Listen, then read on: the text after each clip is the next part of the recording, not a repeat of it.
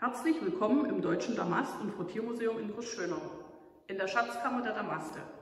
Unser Datensatz besteht aus 19 handgewebten Damasten.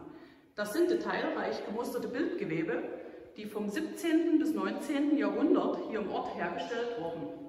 Genauer gesagt, der älteste hier ausgestellte wurde 1666 und der jüngste 1878 gefertigt.